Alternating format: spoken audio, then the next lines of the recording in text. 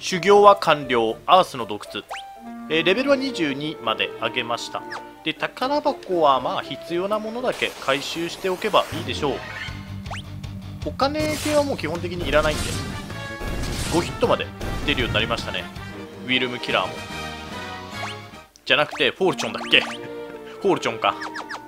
サンゴの剣。これは回収しておきましょう。シーフが装備できるはずなんで。ナンバー4に装備させます。いいね。1915 1915ってウィルムキラーと一緒か。でルーンブレードだけちょっと弱い。で、まあ、1は防御とかする関係上、まあ、攻撃力の高い武器は最後に回すという感じでやっていきます。ヴァンパイア戦。いやシーフ意外に強い。思ってたよりは全然強い。あのもうファミコン版のイメージしかなくてファミコン版のシーフはねほんとくっそ弱いんで。それに比べれば全然強い。あの防具も装備できるんで文句よりは耐久度は高いし。なんだろうな。戦士より攻撃力防御力は弱いけど文句より防御力は高い。でもちょっと攻撃力が低いみたいな。そんな感じ。文句はちょっと特化しすぎ攻撃に。でシーフはまあバランスがいい感じですかね。スタールビー。そのまま土のカオスリッチ、まあ、こいつに関してはどれだけ攻撃が通るかなんだよね。ナンバーワンはちょっとハイポーション。先にハイポーション打っちゃう可能性があるけど。100か。全然いけるわ。50ヘイストいきなり唱えてきたな。常にハイポーションを使っておこう。1は、まあ、防御でもいいけど魔法食らったら防御って多分意味ないよね。早っ。マジでシーフ早いんだよね。け出た。スロー。やっべ3人も食らったわ。天敵すぎだろ。2とかさこいつら終わったわ。やることがなくなった。あとは4番がてかさこれさ理性した方がよくねえか。ちょ4番も防御してたよ。ちょっとリセロ。ー申し訳ない。ちょっと早々にねスロー食らったのはさすがに。でもう1番も攻撃に入っていいや。分かった。ファイラ早速こういうのが来るか。攻撃した途端に。ハイポーション2人だな。えー、っと1番と2番。34攻撃。100100通ってくれればな。全然いいんだけどね。しかもスローって全体なんだね。ゲ出た。何なんだこりゃ。なぜ2ターン目ってスロー打ってくるのか。ほんと序盤の肝だよねリッチって。あのドーピングができないからね。素で勝負するしかないんで。ヘイストまあこれは全然いい。3人スローになったらさすがにもうちょっとグダるだけなんで2人だったらねまだ大丈夫なんだけど8とか。1番が逃れてもちょっとダメージソースにはならなそうだな。まあ、234だよねやっぱり。攻撃の要は。13いや大丈夫だ。39ひどい。巻きられた。9200何なんだこれは。相変わらず乱数が分かんない。あこれクリティカル。あれでも32だ。サンダラ強え。サンダラは強えな。2が結構ヒットポイント高いから。一応ハイポーションは全員打って回復させとこう。さすがにシーフは速い。ヘイスト。大丈夫。麻痺とかさ全然治んねえかんね。眠りとか一瞬で目覚めんのに。フリーザラこれはいや強え全員自分を回復させないとまずい。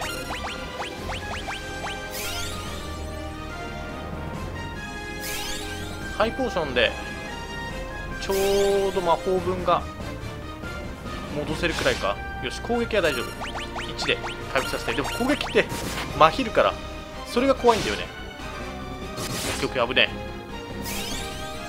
1ターンにつき100くらい与えてくれれば全然いい。で4は最悪魔法で落ちるな。でもそう。ダメージを与えることが優先。いやもリッチさえ突破できれば。あとはねいつものルートで。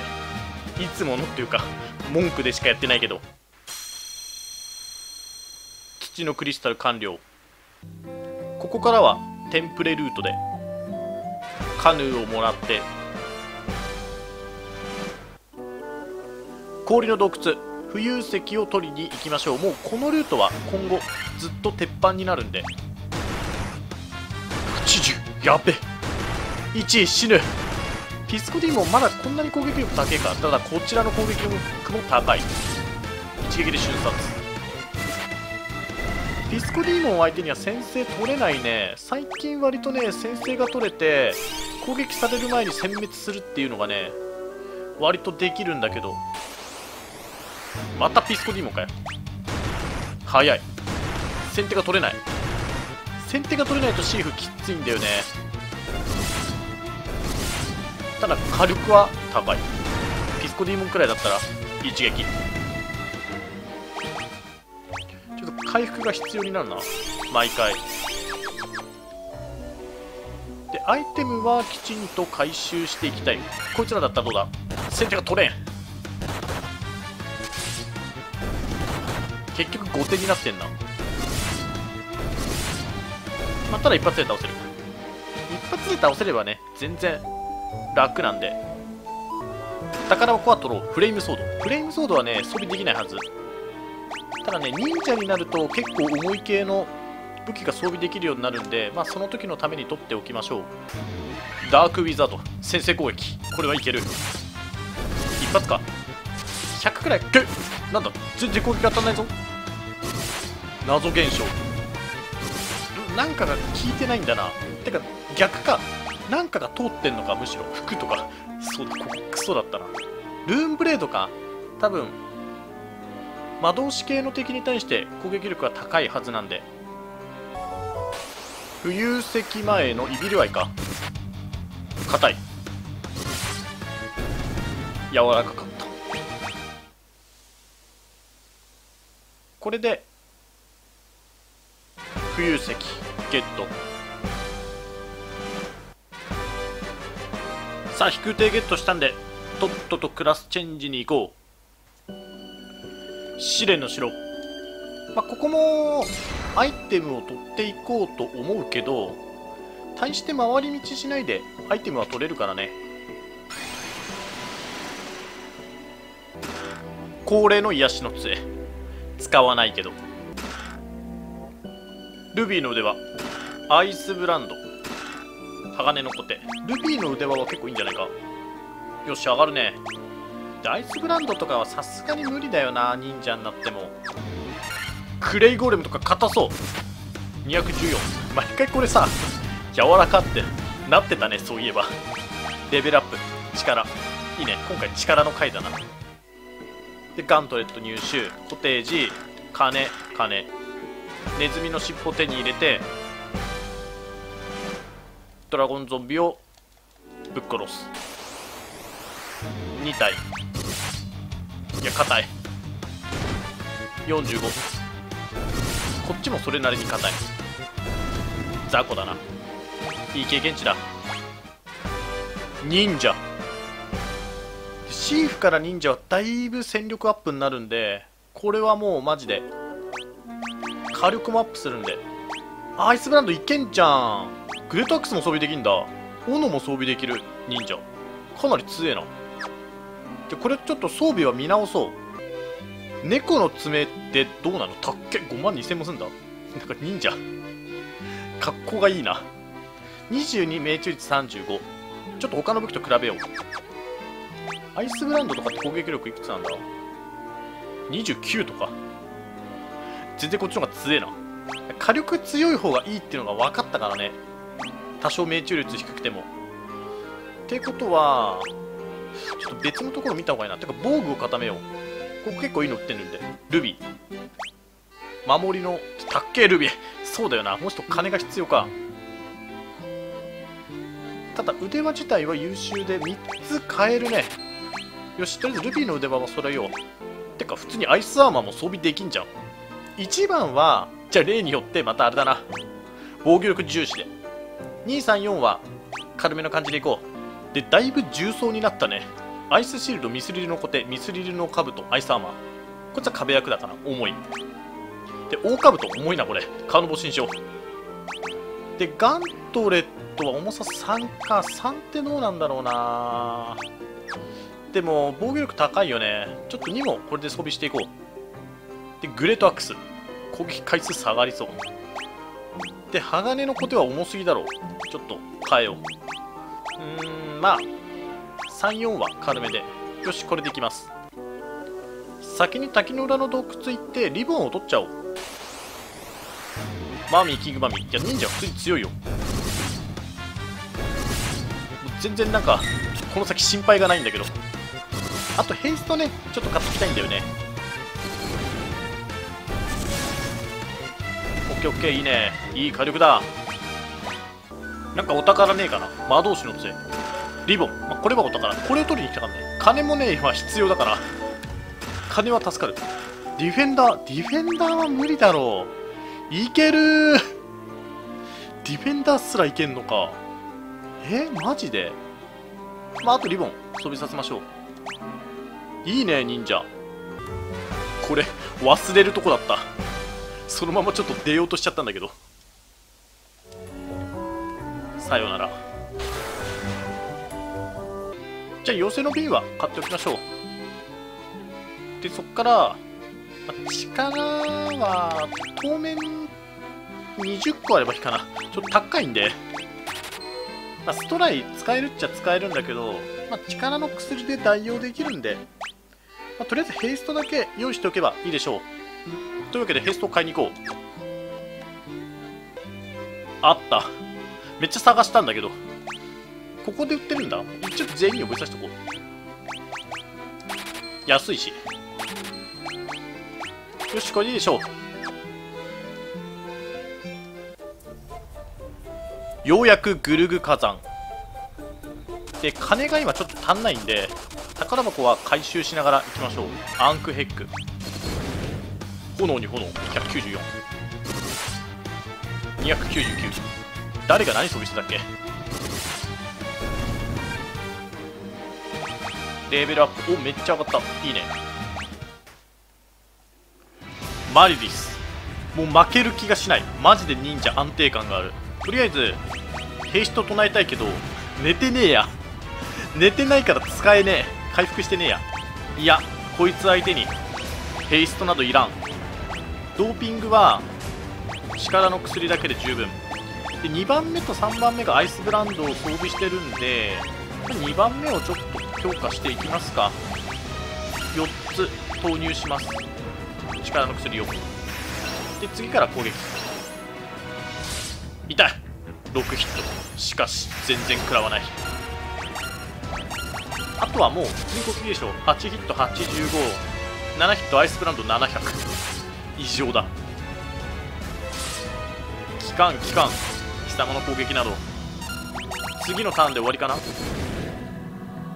？2周9フレームソードはさすがにちょっと通りが悪いね。ファイラまあ100くらいいいだろうくれてやる。回復するまでもない。これで終わりだ。425倒した。いやいいよ。忍者になってから本当に抜群の安定感になったな。モンクより安心して戦えるもん。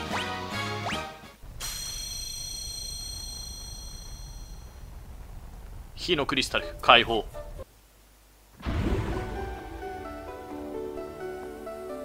海底神殿。じゃあまずはロゼッタ石を回収しに行きます。ゴーストとかマジでこいつら火力高えかんな。60やっぱ食らうな。しかし押すしかない。1213番目めっちゃ食らったんだけど。いける。何一発で倒せなかった。大丈夫だ。このターンで殺せる。火力が高い割には経験値持ってないからな。知性が上がった。ダイヤアーマー。これ装備できるっしょ。今アイスアーマー。何？ダイヤアーマーは無理か。重かったかナイトしか装備できない。雷を防ぎやすくなる。ライトアックスどうなんだ？とりあえず4に装備させよう。攻撃力自体はわかる。ダイヤの腕輪を手に入れたんだけど防御力自体は今のアイスアーマーと同じか。ルビーの腕輪をダイヤの腕輪に変えよう。10も上がるんだ。いいね。ダイヤ系はね装備できないんだよね。そうだよね。ダイヤはもうナイト専用だ。一応見る。ナイト。ナイト。ナイト。なるほど。でここがロゼッタ石。ちょいとお金ができたんで一旦戻ってきてルビーじゃなくて守りの指輪これを4つ買いましょう。これでコテはだいぶ強いはず。ミスリルより強いか。それはいいね。ガントレットよりもいいね。軽いしねしかも。革の手袋装備してたんだこいつ。もう一人のやつも多分そうだな。革の手袋。重さ1っていうところが本当にいい。よし。あと盾か。こいつだけバックラーなんだよね。ミスリルの盾が装備できるからまあミスリルの盾買ってもいいんだけどまあ一緒別に。全然大丈夫まだ。じゃあ再び海底神殿。今度はクラーケンの元を目指して進んでいきます。先生攻撃チャンス。速攻で始末する？ここも宝箱がちょっとあるんだけどね金。もうとりあえず装備が揃ったっちゃ揃ったんであとはアイテムの方の宝箱だけ回収してお金はもう戦ってるだけで大丈夫でしょ？その分だけで。後の方超金貯まるからね。全部宝箱取ると。でリボンは当然のように回収してここは2人目。川のボスと一緒か。まあでも体勢がね全然違うから。巨人のコテも入手。で巨人のコテ自体はどうなの？弱い。やはりこれはアイテム用か。クラーケン。こいつもああ間違えた。ザコッショえっ、ー、と巨人のコテ使ってで今回はヘイスト。いける。でそっから力力でいこう。でセーバーでしょまずは。で力が入って8ヒット198まあまあまあ大丈夫。一応回復はさせておくか。で攻撃に転ずる。自分をハイポで回復させて、まあ、もう2個くらい力打っておきますかこのターンは。炭。もう一番しょぼい炭。これがあるから助かるんだよねクラーケンは。ほらいけ16ヒット1718なんかもう一発で倒せそうだな。無駄無駄無駄。176逃げ気決殺。ちょっと足りなかったね。もう一回力入れてれば一撃で倒せたかもしれないけど。まあ所詮クラーケンならこんなもんだ。水のクリスタル。ちょっと買いだめしていこう。巨人の薬は20個くらい。じゃなくて力。巨人も10個くらい持っとこう。でプロテスもなんとなく10個。スピードもまあいらないけどね。10個。てかさスピードドリンク使ってさ攻撃回数上がるんだったらさヘイストあダメだラスロー使われた時にスピードドリンクじゃ直せないもんね。そのためにもやっぱりヘイストの方がアドバンテージはあるな。ギャー！ウネのところに行くの忘れた直行してしまった。戻ろう。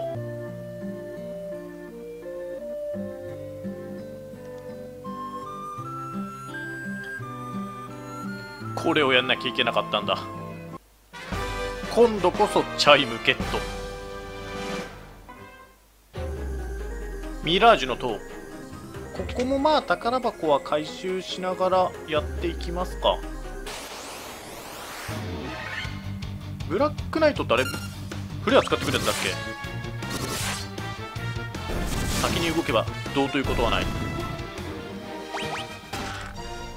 シャープソード。これは弱いでしょ確か。そうだよね。4も弱いよね。命中率が高いのか。まあライトアクスでいいでしょう。イージスの盾これも装備できないよね。ナイト専用。サンブレードは装備できてくれできる。命中率100とかすげえな。1差があるけど大したことないでしょで待ってディフェンダーあそうか。別にディフェンダー外したからといって防御とかに影響するわけではないんでじゃあサンブレードにしよう。で2番目がディフェンダーにしてでアイスブランドは変わらずだからライトアックスよりはアイスブランドの方がいいか。よしこれにしよう。ドラゴンメイルは装備できるか？装備できないね。やはりここら辺はもうナイト専用だね。これ装備できればでかいんだけどな。炎と霊気と雷。リボンが1個足んないからね。ナイトの時4番目これ装備させればよかった。じゃあ浮遊城へ行きましょう。ここはサスケの刀があるからね。ぜひとも回収したい。でリボン3つ目。これで3番もリボン。一応守りのマントちょっと見ておこう。えー、っと、そうすると、バックラーよりは守りのマントっていう感じだね。重さ2なんだ。他のってどんくらい重いの？ミスリル。え？ちょっと待って。重さなくね？なんで守りのマントだけ重さがあんの？意味がわからん。まあいいや、装備させよう。で、サスケの刀。これはサンブレードと比べて強いね。まあ、ちょっとだけだけど。じゃあディフェンダーからサンブレードもうどんどんお下がりになっていくからなで結局こいつはアイスブランドのままかティアマット戦。まずは恒例のセーバーでヘイスト。寝てないからヘイスト。の回数が減ってんだけどで力力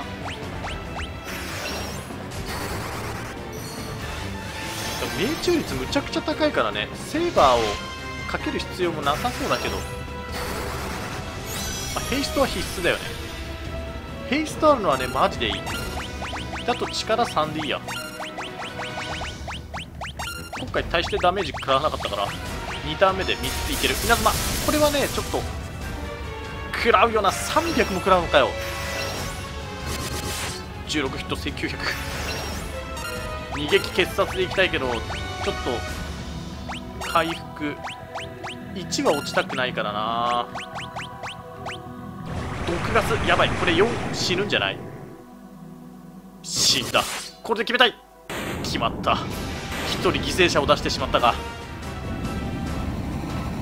ドーピングの勝ちだ。自立金になってたらちょっとまずかったね。ドーピングしないで。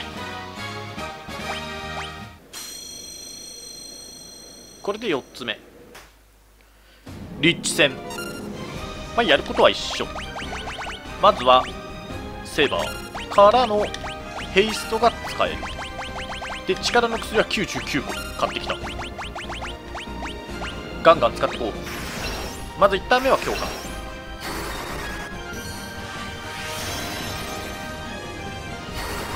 ヘイストキル。お一番下効かなかった。リボン持ってないのに。であとはもう力力力だな。まあ、リッチはもうこのターンでいいんじゃないか？16ヒット。1157十分だろう。1忍者はね結構バランスがいい、まあ、一応普通の攻撃も見てみよう。8とか。1ヒット1じゃねえかよ。13こんなにも違うのか。マジか。こっから強化ゲーだからね。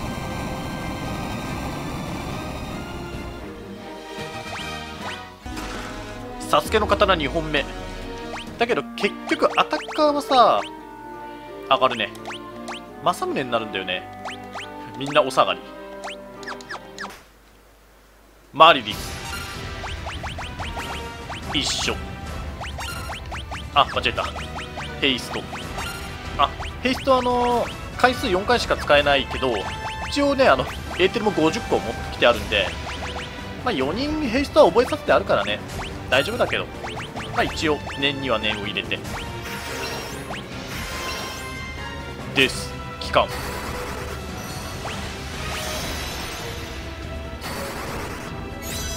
逃げき決殺だな。これはまた行こう。攻撃。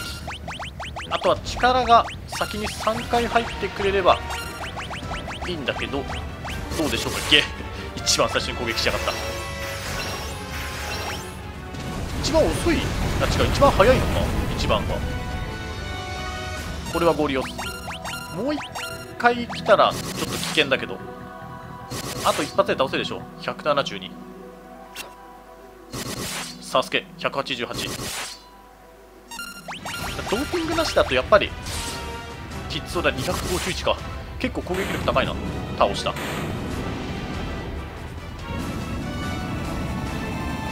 あとは政宗が手に入ってどれだけ火力が上がるか。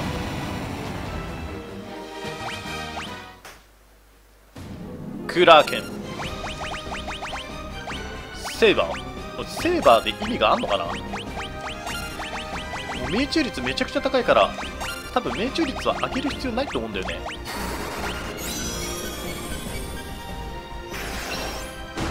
8ヒット251やべえ。次から死ぬ。珍しく攻撃をしてきたな。一応ハイポかけとくか。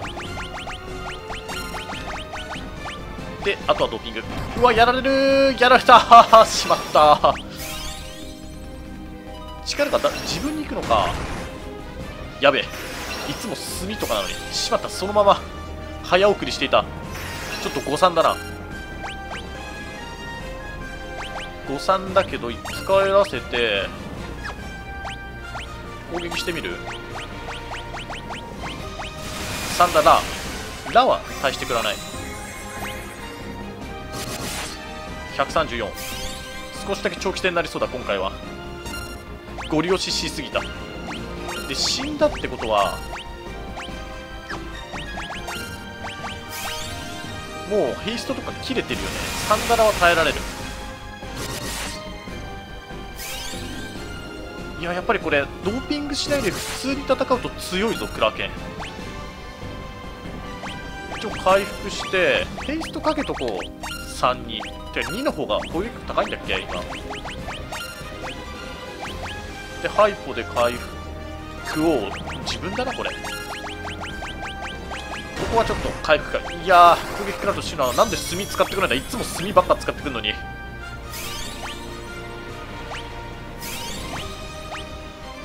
よしで2はヘイストかかったから攻撃しよう。でフェニックス意味ないかもしれないけどハイポいやマジで攻撃375は強い。最悪死ぬ恐れがある。ちゃんと蘇らせよう。2人蘇らせよう。何が起こるかわからない。念には念を入れて。フェニックスのね大量買いはしてない。279まだ一発耐えられる。ナンバー2なんか597あるからね。なんでかは知らない。で31だな。1のは食らいそうだから。3だな。死んだ遅かったか。ただえフェニックス攻撃こうだな。いや死ぬ。マジか炭を使ってこない。クラーケンは強いぞ。炭なしクラーケン。ここに読みやらせよう。フェニックスのむちゃくちゃ使ってんな。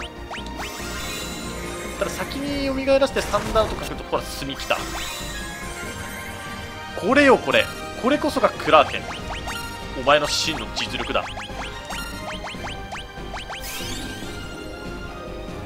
よし。これサンダーラは耐えられるこれで。攻撃は耐えられない。さすがに。ちょっと1000当たってくんないとな。きついよな。もう2回くらい。力の薬を入れたい気がする。よしよしよし炭はマジでボーナスタイム。入れよう力を。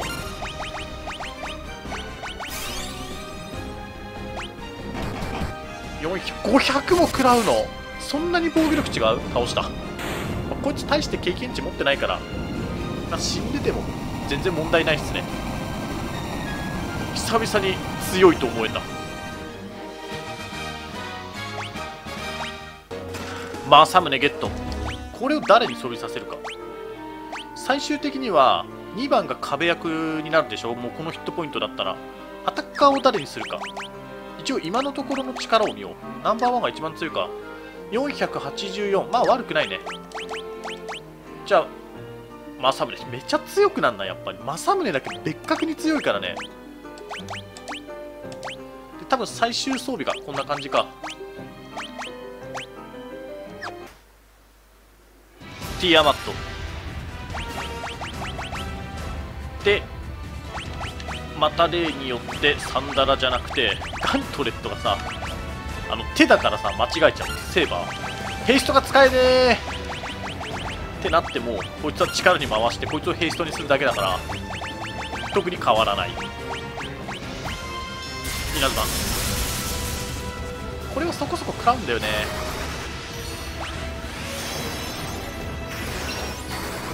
ヘイスト。エーテル持ってきた意味はなかった。そんなにヘイストは連発しないからね。重ね書きをしないから。で力やって回復はちょっと2人回そう。炎どうしても4の耐性のねなさがここはきつい。リボンのあるなしでダメージが倍違うからね。もう一回やっぱりかけないとダメだな。ハイポーションね。攻撃はいいやとりあえず。あでもこいついけるか。力。稲妻。ハイポーション2つ使うべきだったな。200じゃ回復しきれないからハイポーション1個だと。とはいえもう1000クラスが2発入ってるからな。ティアマットもそろそろ虫の息だと思うけどもうあとはハイポーション自分にかけよう。1700安定性があるね。毒ガス。で1はやっぱり死なせたくないんだよね。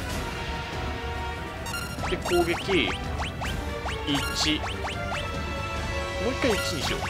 で自分を回復しよう。